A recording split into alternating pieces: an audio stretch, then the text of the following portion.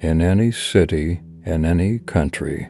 Seek out any school or educational facility you can find when you reach the front desk. Ask to see a person who calls himself the holder of chance. If the secretary shows any sign of fear, give the request again and do not relent. Eventually, your perseverance will pay off, and you will be led to a deserted classroom in a closed down wing of the school. Scraps of police tape and faded chalk profiles will litter the floor, and the door will be sealed behind you before you can inquire anything. At this point, you must choose one of the 30 desks. Sit down and wait. Only one of these desks will allow you to keep your life. Advising you to choose wisely would do little good, as there is no way to tell if you have done so until it is too late. After a short wait, you should begin to hear things children laughing, droning lectures, and the occasional snore. But these are merely echoes of a time when the classroom was hosted to nothing more devious than homework and pop quizzes. As you wait, the sounds will slowly change. Where there was once laughter and lectures, there will now be screams of agony and howls of despair. Shades of the classroom's horrible history will begin to take shape around you. Do not fear the shades, as they are harmless. The beast they can coalesce into however, is not.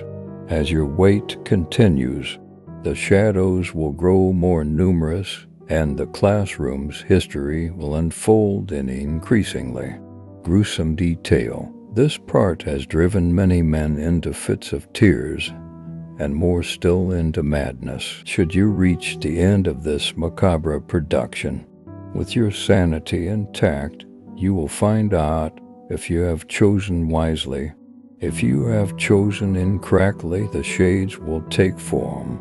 They are hideous mockeries of what they were in life, half formed doppelgangers of those long dead. There is no escape from this room now. They will tear you apart ever so slowly, taking twisted delight in inflicting the pain they have suffered on someone else. It will take you days, perhaps even weeks, to die the only consolation you will have is that you will likely lose your sanity. After the first few hours, if you were lucky and chose the one correct desk, the shades will gather around you, coalescing into a pitch black mass.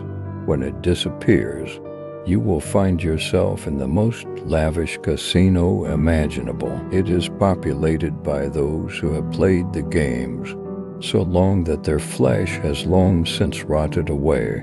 For death is forbidden from entering this casino and yet still play. Hoping to gain their freedom, the casino has but two exits. One leads to a wasteland where fell beasts roam, and nothing but certain death awaits. The cost to pass through is for silver coins. The other door will take you to what you seek, and is the only chance for you to leave with your life, the cost to pass through is five gold. Coins, you will be holding a single silver coin in your hand, don't fret.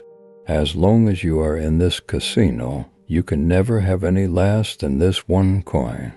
A nearby sign will tell you that three silvers equal one gold. You must play if you do not wish to be trapped here for good.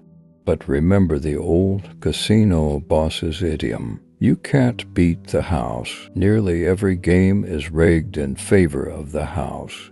And the precious few which aren't change at random, serving only to trick and confuse you.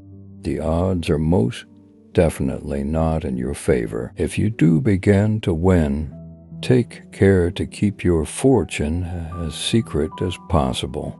As the damned around you have not been so lucky, bear in mind that you cannot die in this place, and that boastfulness may inspire them to turn on you in a fit of jealous hatred, ripping great chunks of flesh out of your body. until their jealousy is quenched and their blood lust sated. If, against all odds, you manage to gather the five gold coins and enter the door unmolested by the other gamblers, you will find yourself in an elevator. It will take you up to an office even more opulent than the casino below. Behind a desk at the far end of the room will sit a skeletal figure dressed in the finest suit you will ever see. Approach the desk and stand before it, asking only one question Will you roll? It will nod and produce a pair of dice from its jacket. Call the roll evens or odds. If you lose, the skeleton will grin, and you will take its place, waiting thousands of years for the next seeker to be so lucky as to reach your new abode. If you should win, however, it will let loose a wail that will unbind the magics that hold the place together. Death will finally enter the casino below, granting the wretched gamblers the rest that has for so long been denied them. As the casino disintegrates around you, stand perfectly still. Hopefully, you will not be taken with it, but if you are, there is no being in this world who can say what will happen to you. If you were not taken, you will reappear in the classroom. It will be exactly the same as you left it, save a mound of dust and rotting cloth at your feet.